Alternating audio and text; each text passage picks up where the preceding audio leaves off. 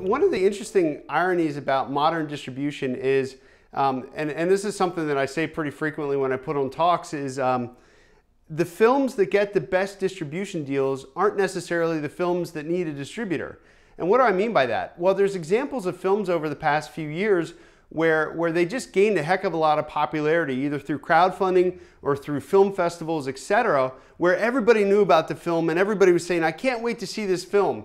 Uh, maybe there was a social media star involved and there were all these people that were just clamoring, when, when can I see the film? When can I see it? And of course, every distributor wants that film because they know that if they can make a distribution deal with that filmmaker, they're probably going to make some money off of the deal.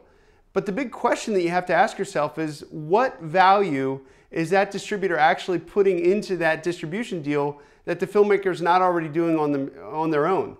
So, whenever you're evaluating whether to quote unquote self distribute or sign with a distributor, you have to ask yourself do I really need a distributor? And if so, what are they doing that I can't do on my own?